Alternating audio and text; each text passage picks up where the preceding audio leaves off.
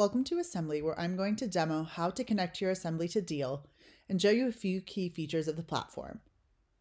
To connect your Assembly account to Deel, go to your admin section, click Users, then click Manage. Select See More Integrations and select Deel. Follow the steps to enter your credentials to complete your connection. If you are not logged into your Deel account during this connection process, it will prompt you to log in before continuing. After you've successfully finished your OAuth connection with Deel, you'll finish your setup in Assembly. It may take some time for the connection between Deel and Assembly to finish, depending on how large the connected Deel account is and how many employees there are.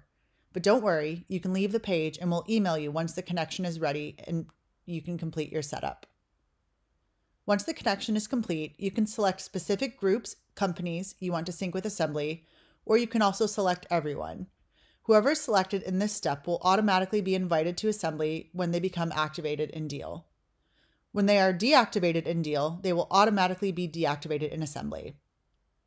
This connection will automatically import important employee information like department, job title, manager and direct reports, birthday, and work anniversary date. This allows you to seamless, seamlessly automate certain amazing features within Assembly.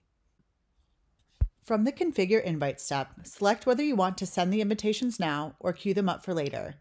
If you queue them up for later, you can send them out whenever you are ready. For auto approve settings, determine whether you'd like for anyone who joins the Deel account, either the entire company or a specific group or company, depending on the settings in the previous step, to automatically join your assembly, or if you want to approve them before joining. If you have selected to send your invites later, you can view all your queued invites from the queued section and individually or bulk send out the invitations to all your queued users. Next, I'm going to show you how to use one of Assembly's most popular features, giving recognition. Assembly powers all employees, from executives to managers to individual contributors, to publicly celebrate and reward all of the amazing things people do on a day to day basis. To give recognition, click Give Recognition and select the person or people you wish to recognize. Tell the rest of your company what amazing things this person did. You can make it fun by adding a GIF. Lastly, add points to reward them for all their hard work. From the recognition post, anyone in your company can reply to the post, give additional recognition, and even add more points to boost the recognition and show extra appreciation.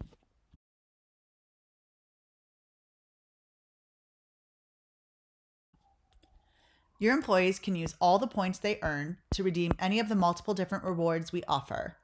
We'll soon be launching a new reward category for Amazon, but our most popular category right now are gift cards. You can enable gift cards for any country in the world. To redeem, simply browse or search for your desired reward and complete the redemption process.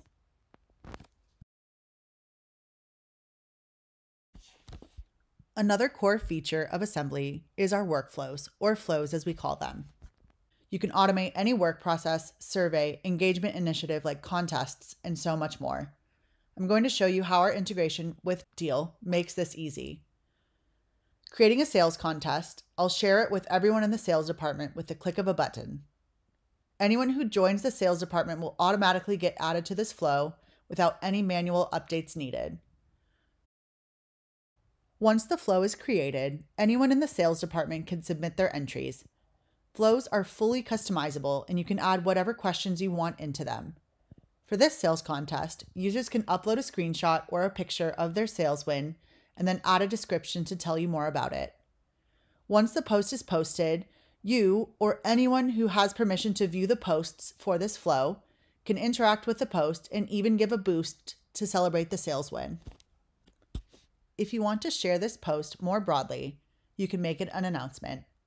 Click the three dotted menu on the post, select Share as an announcement.